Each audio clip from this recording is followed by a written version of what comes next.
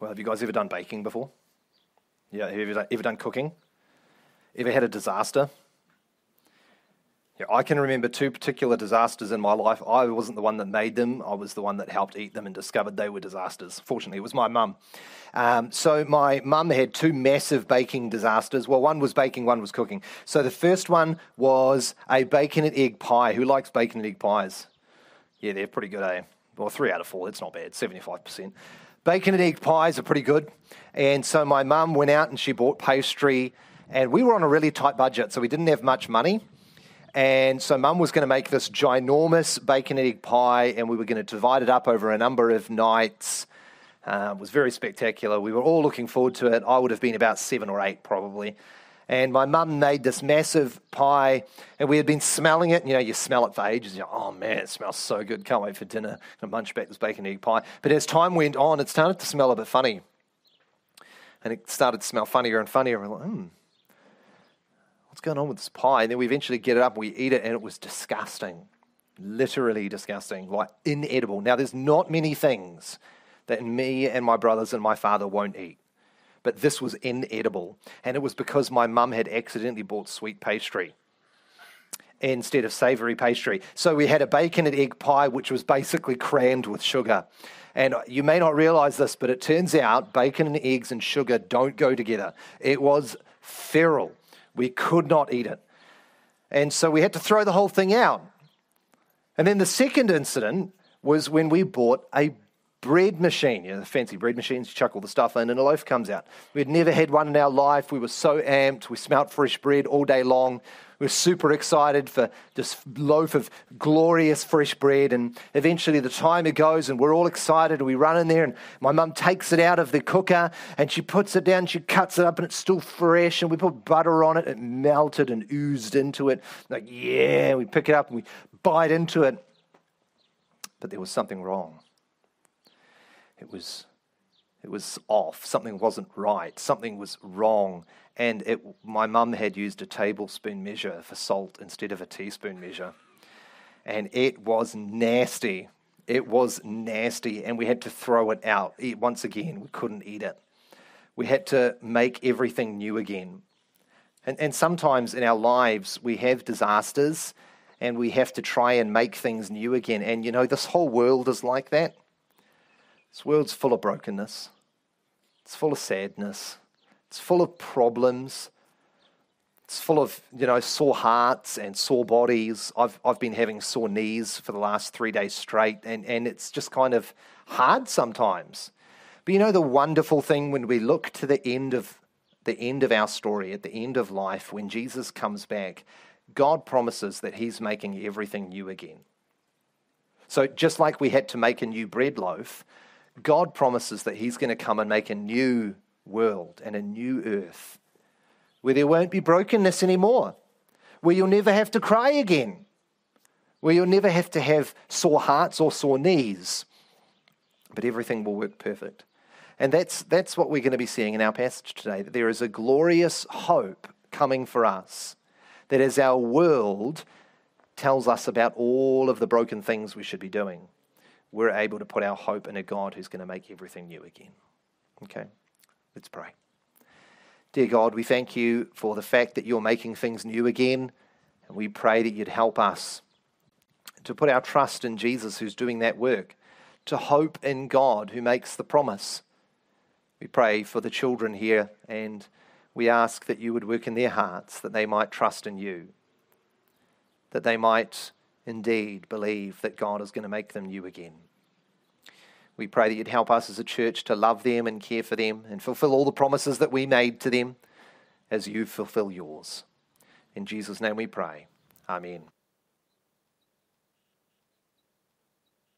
For those who are visitors, we are doing a special day of sermons today as we stand with the Canadian church, who is now under the tyranny of conversion therapy laws and they have asked churches from around the world to stand with them, to make a stand with them side by side as they prepare to potentially suffer for faithfulness to Christ. And so this morning we looked at a passage in 1 Corinthians, and tonight we're looking at Revelation chapter 21. chapter 21. The sermon title will be misleading as I change the theme of the sermon, but with the same passage. Tonight we are considering hope, God's hope for a broken world. So, Revelation chapter 21, we'll start at verse 1, but we're going to be considering 5 through 8 tonight. This is God's holy and infallible word. Then I saw a new heaven and a new earth. For the first heaven and the first earth had passed away, and the sea was no more. And I saw the holy city, New Jerusalem, coming down out of heaven from God, prepared as a bride adorned for her husband. And I heard a loud voice from the throne saying, Behold, the dwelling place of God is with man. He will dwell with them, and they will be his people. And God himself will be with them as their God. He will wipe away every tear from their eyes, and death shall be no more. Neither shall there be mourning, nor crying, nor pain any more, for the former things have passed away. And he who was seated on the throne said, Behold, I am making all things new. Also he said, Write this down, for these words are trustworthy and true. And he said to me, It is done. I am the Alpha and the Omega, the beginning and the end. To the thirsty I will give from the spring of the water of life without payment. The one who conquers will have this heritage, and I will be his God and he will be my son. And as for the cowardly, the faithless, the detestable, as for murderers, the sexually immoral, sorcerers, idolaters, and all liars, their portion will be in the lake that burns with fire and sulfur, which is the second death. Amen. And may God bless the reading of his word to us. Let's just come before Him in a time of prayer. Father in heaven, we thank you for your word. Thank you that you've left us with a witness to the truth. Lord, we completely acknowledge that we don't treasure it like we ought. We don't obey it as we should. We don't faithfully read it as would be for our good. And so we do pray that you'd forgive us. And yet, now, as we turn to it this evening, we pray that we would listen well. We ask for your help by your Holy Spirit. We recognize that we're tired. It's the end of a day. The sun is warm and the sun is low. And yet we pray that throughout all these obstacles and everything else that might crowd into our mind, that you would overcome all of them, that you would woo us to yourself in your word, that you would proclaim the goodness of Christ through me, your servant. Lord, we pray that as I speak to human ears, that you, Jesus Christ, would speak to all of our hearts, and that we might hear from the living God and be comforted, that we might have a hope that lasts. In Jesus' name we pray. Amen and amen. Well, as we think about the state of the world, I thought a bit about it this morning, but as we think about the state of this world, the state of New Zealand, the state of the nations and the direction they're going, it's very easy to give in to despair, isn't it? It's very easy to look at it all and just kind of roll our eyes and say, it's just too hard. It's just hopeless. I mean, when we, when we think about the horrendous celebration of the murder of children, when we think about the killing of the weak and elderly, when we think about mutilation of bodies through transgender surgery, when we think about the drugging of children with hormone replacements, when we think about the destruction of marriages and the removal of family values, when we think about the enslavement of minds through education systems seeking to promote godlessness, when we think about a prime minister who would jest that it's currently acceptable for 25 people to have an orgy together. It's just so easy for us to turn to despair. As the Apostle Paul says to dear Timothy, a time is coming where men will go from bad to worse. We kind of feel like we're in one of those bad to worse moments, aren't we? And in those moments, what we desperately need is hope. Hope. Not, not hope as the world gives it, but hope from God. Hope with an eternal perspective. And that's what I hope us to see tonight. I want to offer you God's hope for a very, very broken world. God's hope for a very, very broken world. You see, John knew what it was like to live in a broken world, didn't he? The Apostle John. I mean, you just think about the horrors of first century Rome, the butcheries and gladiators. I mean, people used to just leave their children out on walls to die in the sun. Pedo exposure. Paul knew what, the Apostle John knew what that was like. And, and he stood up and proclaimed God's word in the midst of it, and he suffered for it. Tertullian tells us that the apostle John, the beloved apostle, was boiled alive in oil before being sent to Patmos to be exiled there until he died. John knew what it was like to feel hopeless, I'm sure. He would have known that feeling better than any of us on the day of the death of Jesus, wouldn't he? Can you imagine? Pinning all of your hopes in this man and then watching him die, and all of your hopes being dashed. And yet, John knew better than any of us the hopefulness of God who raised him on the third day, yeah?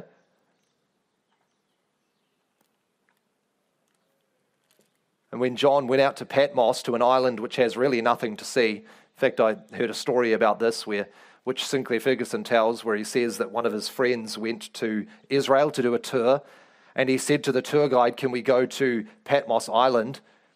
And the tour guide said, Well, there's nothing to see there. To which his friend replied, Tell that to the Apostle John. You know, he goes to this barren wasteland, and yet he sees things there that would fill him with a hope that nothing would thwart. He sees there an eternal perspective on everything that's happening around him. As Christians are dying, as Christians are being martyred, are being fed to lions and torn to shreds, being used as an emperor's lamp posts in his gardens, as torches. He finds a hope that is greater than all of these things, and I want us to see it tonight. Have a look at chapter 21, verse 5, the first half. And he who was seated on the throne said, Behold, I am making all things new. As these visions come to a close, and John looks towards the final moment, the final chapter of redemption, before we work out the rest of eternity with our Savior, God speaks. Now, this might not seem very significant to you, but actually, through the book of Revelation, there's only two times that I could pinpoint where God actually speaks directly to someone. It's always an angel or Jesus or a messenger or an elder or an angel or a cherubim or someone. But there's only two places, right in the very beginning and then right here as well. This is a monumental moment for John all of a sudden, from the throne comes the voice of God, and it booms forth directly to John and says to him, I am making things new. Notice the speaker of this hope. He uses that, that great phrase that Jesus used over and over and over again in the Gospel of John ego eimi, I am. You remember Jesus? I am the light of the world. I am the truth. I am the way. I am the good shepherd. I am. And now God says, I am. You see, this, this hope that John is about to see, this hope that I want to offer you tonight, is not a hope based upon what you do. It's not a hope based upon a, a, minister. It's not a hope based upon a church. It's a hope based upon the eternal God. It's a hope based upon God Himself. He says, I will do this. I and no other. And, and what will he do? Well, notice the, the future reality of this hope. I, I will make all things new. It's something I'm going to do. You see, John is, in a sense, looking into the future. He's seeing a vision of the day, the day when all things broken will be righted. And we see that in the previous verse, don't we? What, is, what, is, what do we see there? He being God, he will wipe away every tear from their eyes, and death shall be no more. Neither shall there be mourning, nor crying, nor pain any more, for the former things have passed away. See, he is looking into the future and seeing a hope where brokenness is removed. It's something we get to look forward to, it's something we get to hope in. But it's not just a future hope, brothers and sisters. This, this is a future present. What that means is it's a present participle, meaning it's something happening now, ongoing action, but it's used primarily to refer to the future. But there's no reason that doesn't mean it's something that's happening now. You see, as John is in the moment, he is able to look out around, he's able to look out around him at the church and see that God is making things new now. No, not in the same way that we will experience at the return of Christ. But is He not making things new in our midst? Can, can we not think, just think for the last two years, just the frustrations of everything? Yet we could probably all tell a story of how we have seen God move in the last two years. At a guesstimate, at a guesstimate, we've got what? In the morning, 70 extra people coming on a Sunday.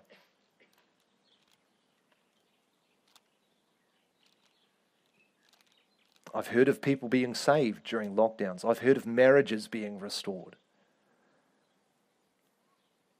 In, in the midst of the brokenness right now, God is making things new. And it happens in our own hearts, doesn't it? Just think about your own heart. What did we see this morning? You were these things. Yet He has given you a new heart. He has caused you to be born again to a new hope. He has restored you. Think about the brokenness of your life. You know, we could think of family and friends whose marriages have almost been destroyed, and yet God has restored them. We can think of people who have discovered hope in the midst of darkness. You see, it's tempting for us to constantly think about God's work as a future reality. But right now, God is, is at work bringing about the newness as we head towards the day when it will be fully, fully revealed. Do you know what a blessed hope this is? as we think about the conversion therapy law? Do you have any idea? Do you have any idea how messed up people are left by the LGBTQI agenda? I want to read you something. This is reasonably long. I want to read you something that I stumbled across when I did a talk for the youth of the church on biblical masculinity and femininity stumbled across this in a Reddit forum, which is a place for people to talk when they're struggling with transitioning from being a man to a woman or vice versa. And, and this, is, this is absolutely heartbreaking, so bear with me. I'm someone who has been wanting to transition for years, and two years ago was able to start my MTF journey.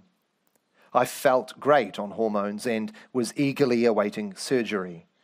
Earlier this year, I was able to make it to Thailand for SRS and BA with Dr. Chet.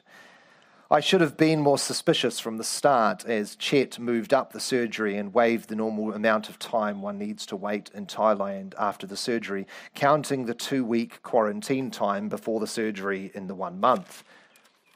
Anyway, I had doubts start to set in the night before surgery. This was the first time since I decided to transition that I felt any doubts towards any part of my journey.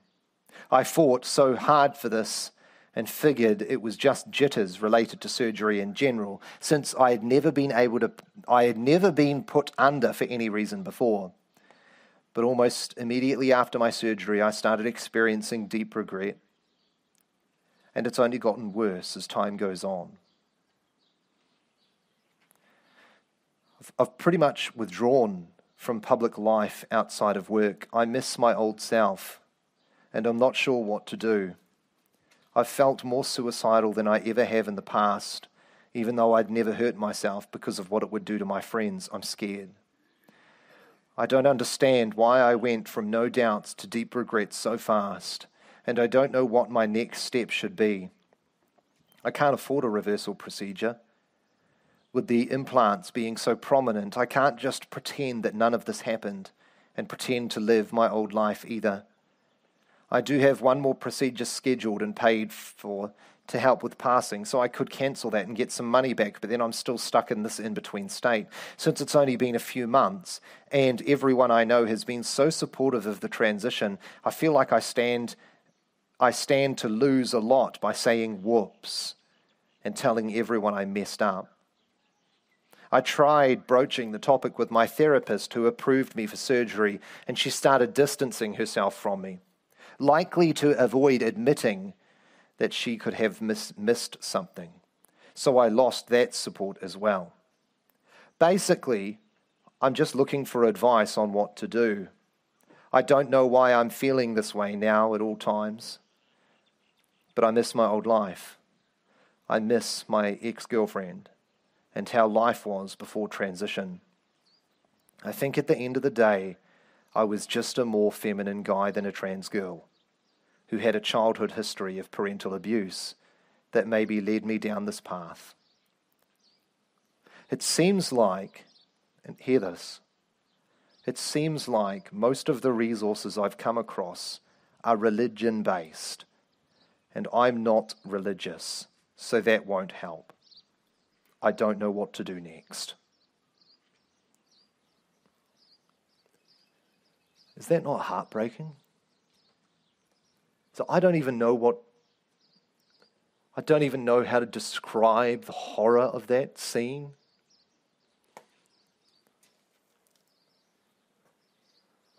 Don't, don't you just want to sit down with this person and just say to them, God makes things new. There is a God in heaven who can help.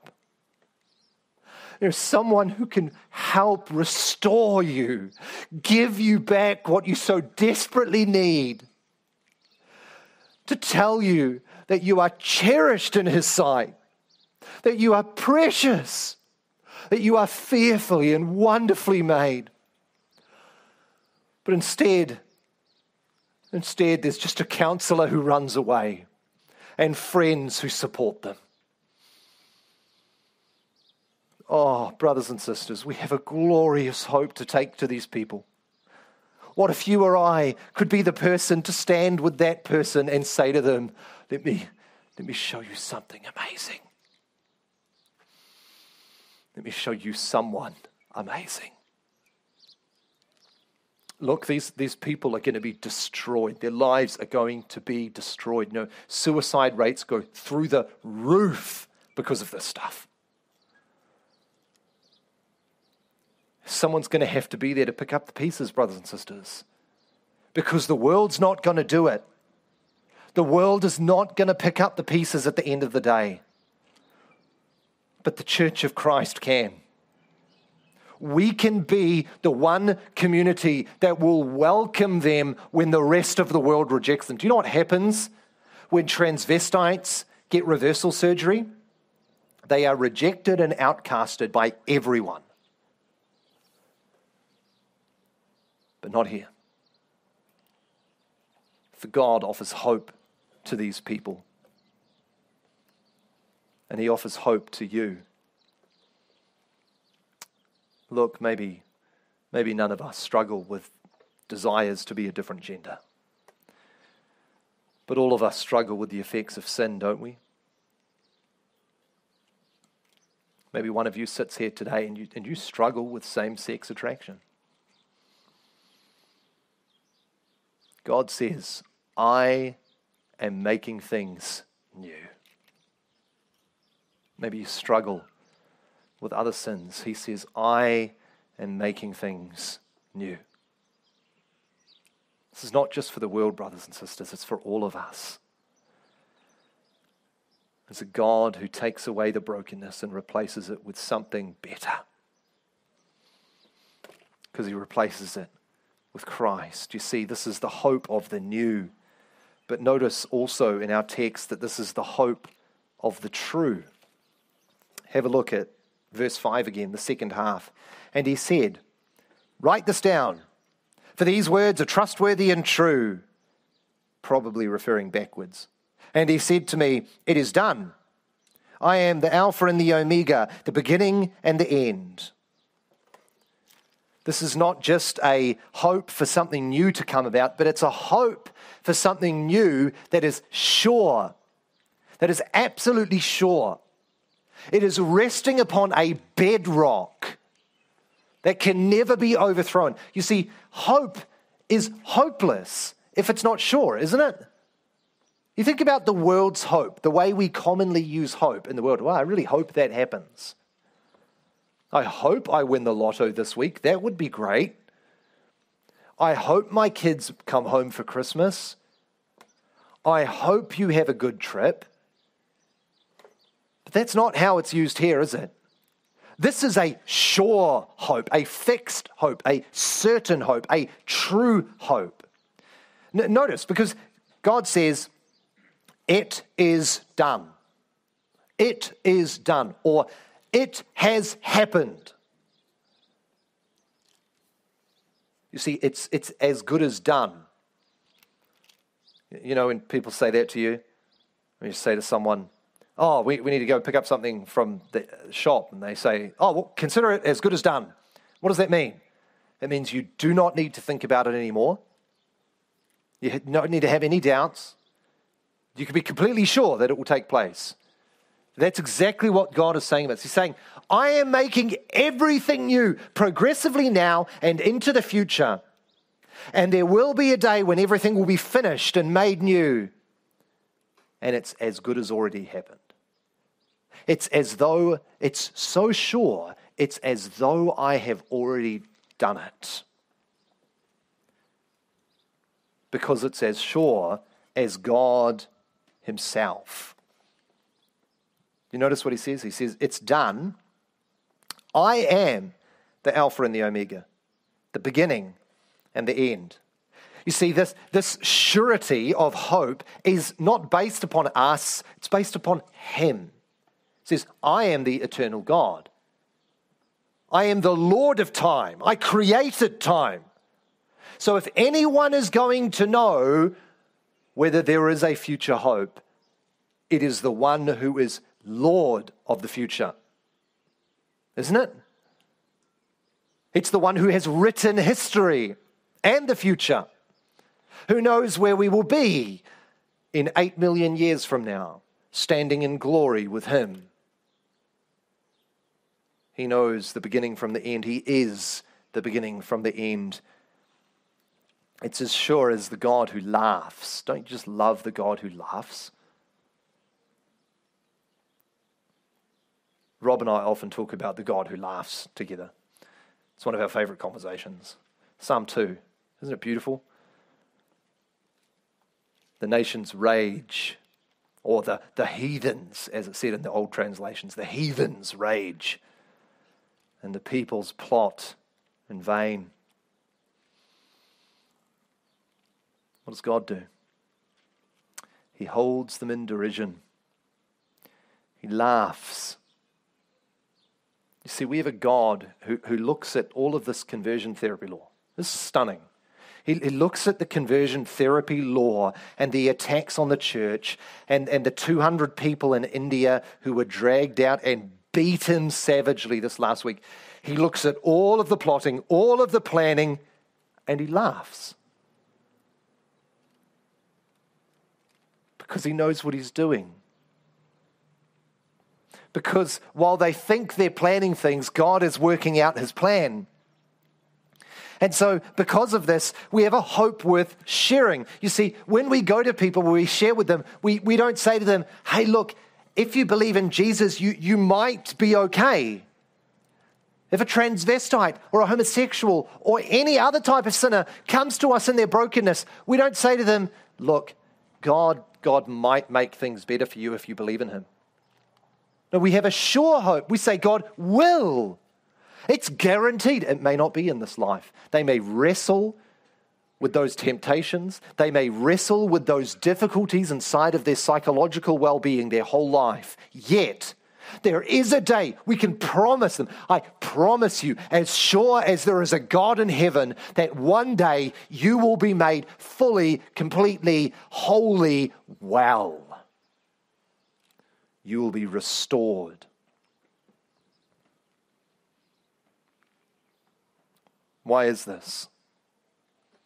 Well, you think about 2 Corinthians 1. You remember in that passage where Paul says, All the promises are yes and amen in Jesus Christ. And then it goes on to talk about the Father's work, and then it goes on to talk about the Holy Spirit's work. You see, the hope of God is buried in a Trinitarian God. Christ died for this hope. The Father gave His Son for this hope. The Holy Spirit seals us and carries forth the salvation for this hope for you and me. And so we have a hope worth offering. You see, our, our, our world around us keeps telling us, you know, the LGBTQI people just, they have issues, and if we just affirm them, they will be happy if we just affirm them and allow them to do what they want to do, they're going to get better. They're not going to feel oppressed. You see, it's you people. It's you people. It's your fault that they feel this way.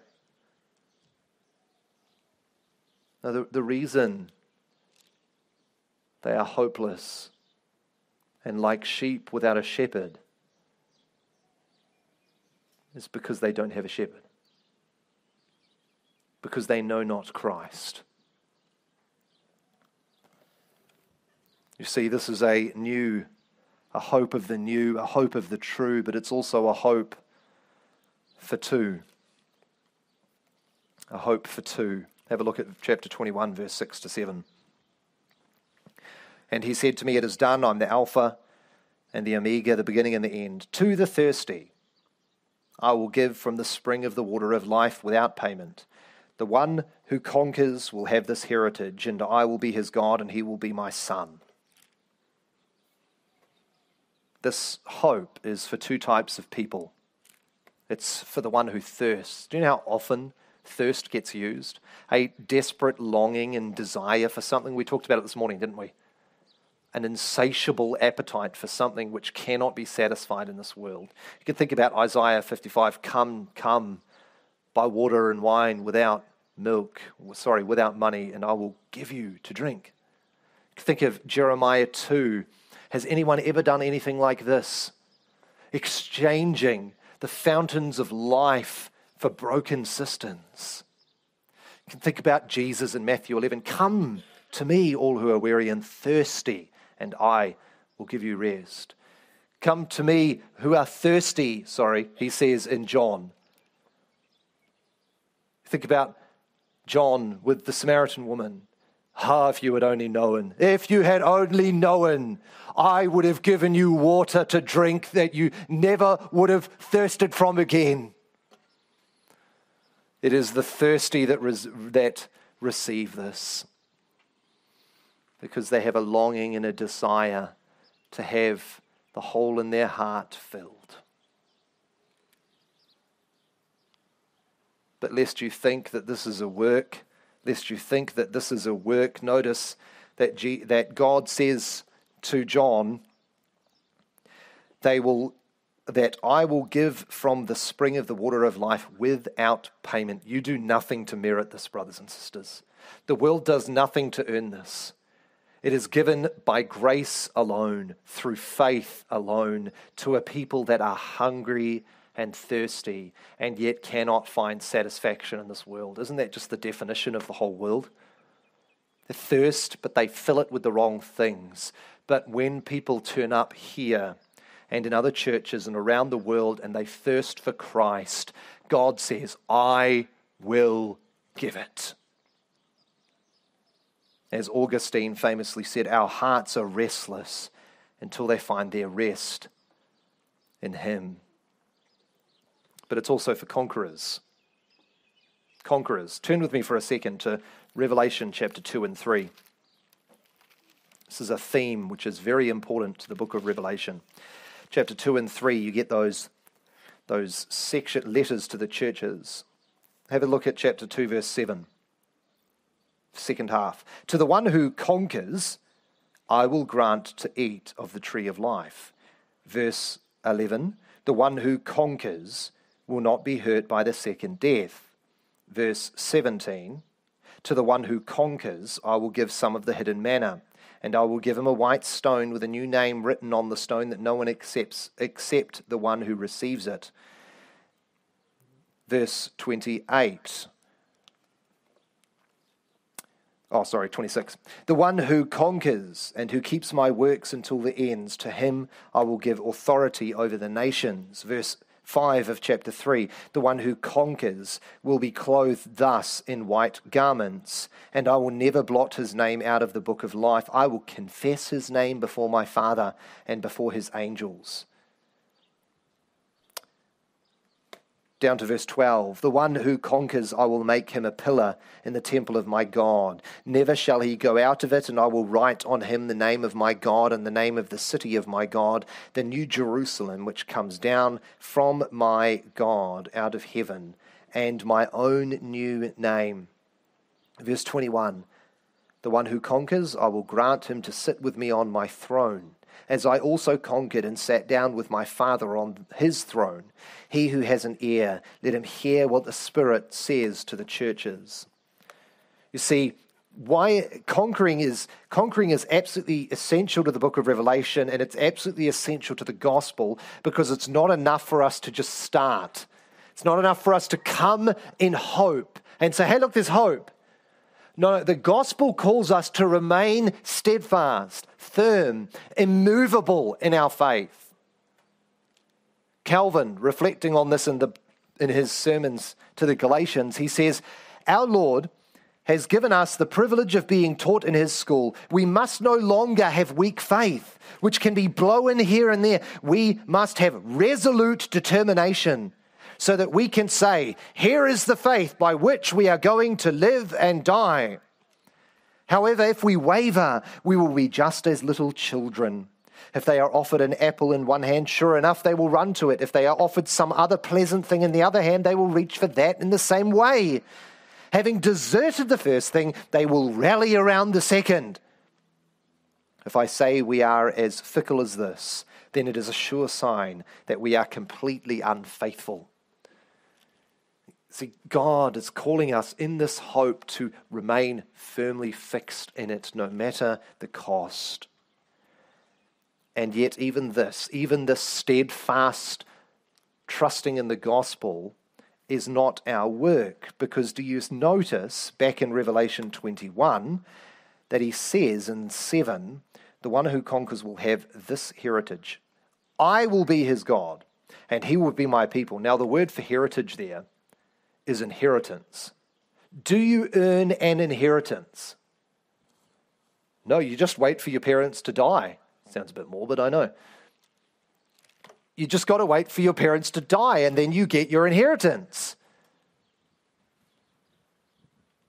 This is why the Bible uses inheritance over and over again, because the Son of God has died. And so we enter into the inheritance by faith now. We're just waiting for it to be revealed at the final coming day. You know, let's be honest, brothers and sisters. It's very easy to have despair in days of abortion and euthanasia, gender transformation, and hormone therapies, and everything else in between. Yet God calls us tonight to look to eternity with John and with all the saints for the last 2,000 years who have read this passage and found hope. And we are to take that hope and offer it to the world. However, we should very, very briefly in closing recognize the warning.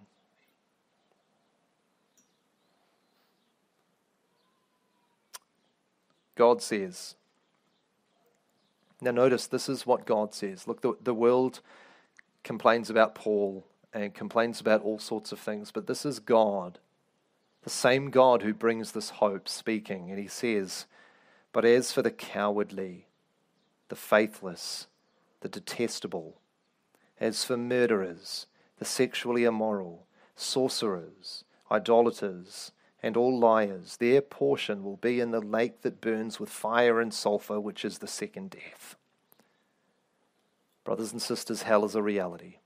And this is not written here for us to play with. It is written here to warn us lest we receive the wrath to come.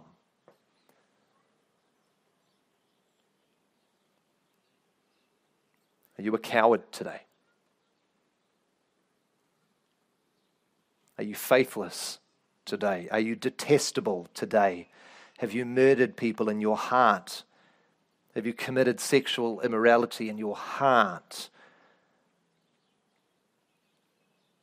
Have you toil, toyed with the occult? Have you worshipped other gods in your heart? Have you ever lied? Well, that's all of us, isn't it? And yet, Jesus Christ, we are told, in 2 Corinthians 5, verse 21, Jesus Christ became sin. He who knew no sin became a coward, became an adulterer, became faithless, became detestable, became murderer, became sexually immoral, became a sorcerer, became an idolater, became a liar, so that the righteousness of God might be given to you and I. You see, he became cursed so that you wouldn't have to. And that's why we have hope. And that's why we can go to all of these people in the world and say to them, There is a God in heaven who will accept you. Oh, yeah, he will change you. But he will welcome you just as you are. And he will make something new out of you. Have hope, brothers and sisters. We have a gospel that is far greater than conversion therapy laws. We have a gospel that is far greater than all the kingdoms of this world. We have a Lord, the Lord of the gospel, Jesus Christ, who is greater than everything this world could ever say. Put your hope in Him. Let's pray. Father in heaven, we thank you that we are not without hope, but we have a, a true hope and a hope for new things, a sure hope, and a hope for those who are thirsty and those who conquer. We do pray that you'd help us to thirst for Christ and to conquer with Christ.